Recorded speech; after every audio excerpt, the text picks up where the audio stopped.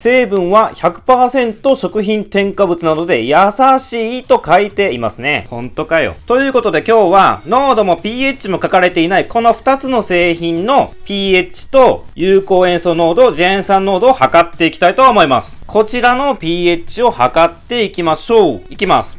ピッ7.01。それではジャエン酸濃度いきます。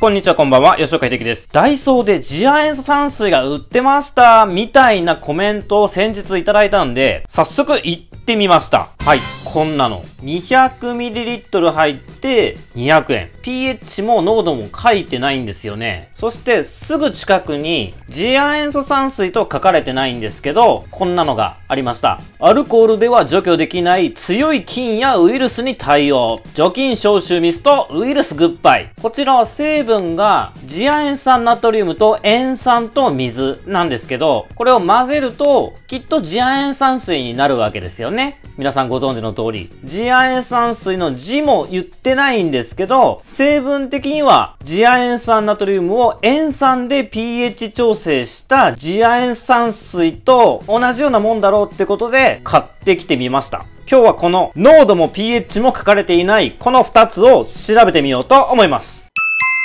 実験。先日コメントをいただいて知ったんですけど、ダイソーに売ってってたんですね。200円の次亜塩素酸水と100円で売っていたウイルスグッバイ。200円のものは 200ml。100円のものは 100ml なので、1ml あたりの単価は同じということになります。こちらのダイソーで200円のものは、酸性度 pH も有効塩素濃度もパッケージには書かれていません。ボトルもキャップもポリエチレン製だっていう情報は書かれているんですが、材料が何なのか、成分が何なのかっていうのは書かれてないですね。こちらのウイルスグッバイの方は、成分は次亜塩素酸ナトリウム、カッコ食品添加物、気塩酸、カッコ食品添加物、水と書かれています。この部分に。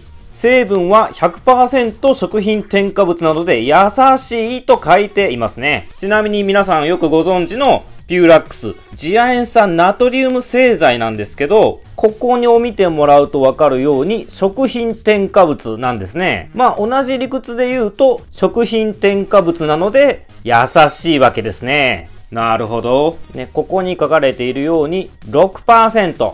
6万 ppm ですから、なかなかの高濃度です。でも、食品添加物なので、優しいわけです。ほんとかよ。ということで今日は濃度も pH も書かれていないこの2つの製品の pH と有効塩素濃度、ジェン酸濃度を測っていきたいと思います。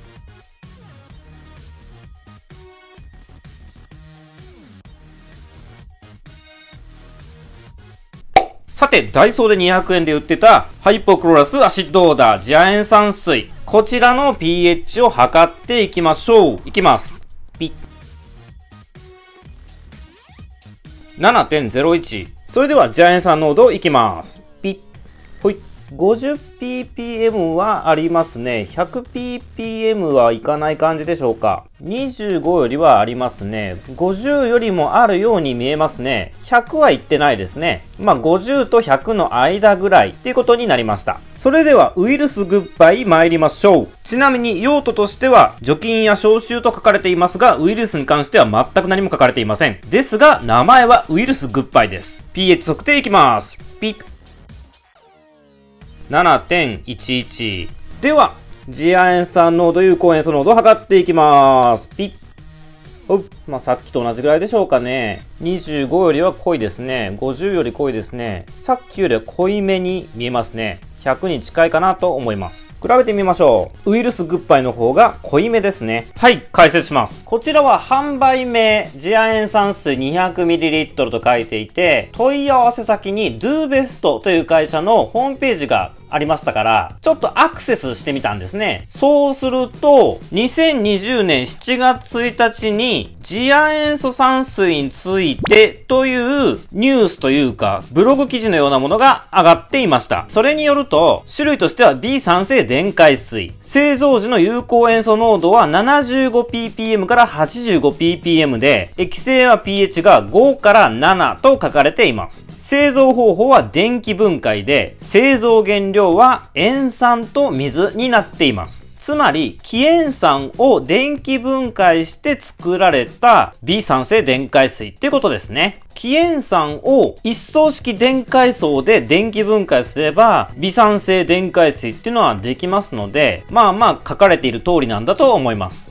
ちょっと前まで3000円とか4000円で売っていたメイドインチャイナであろう次亜塩素酸水生成器という名前のついていた電解次亜水製造機。まあこいつに気塩酸入れて電気分解してもできそうな気はするんですけどね。ダイソーみたいな100均で売ってると一見安そうに思うんですけど 200ml で200円。1ml に対して1円なんですよね。2リットルあったら2000円。割とよくある価格設定なんですよね。ただ、よく考えてもらいたいのは、濃度が高いものであれば、希釈して量を増やすことができるんですけど、元々の濃度があまり高くないものっていうのは、希釈して量を増やせるわけではないので、コストパフォーマンスが果たしていいのかどうかっていうのは考えてもらえればわかるかと思います。まあ、それはそうと、pH も ppm もどっちもない製品ってあるんですね。ちょっとこれはびっくりしましたね。なんか書けない理由でもあるんですかね書いときゃいいのに。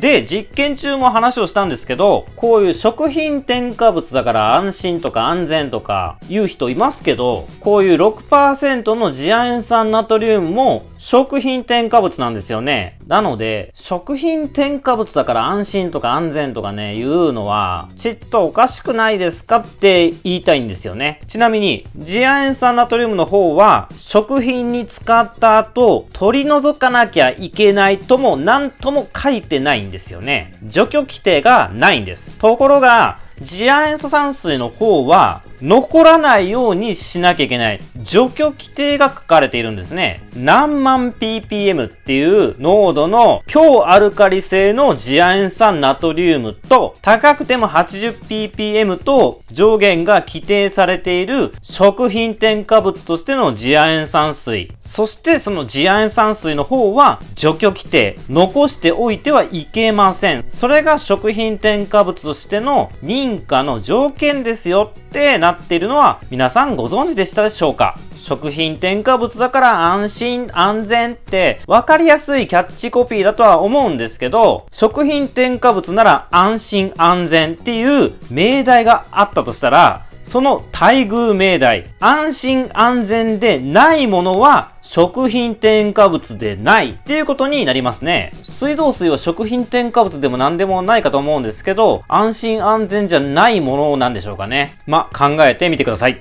ということで今日はダイソーで見つけてきた次亜塩酸水2種類をどちらの製品も pH も ppm も書かれてなかったんですけど調べてみました。何かしら参考になりましたらグッドボタンを押してもらってまた次の動画で会いましょう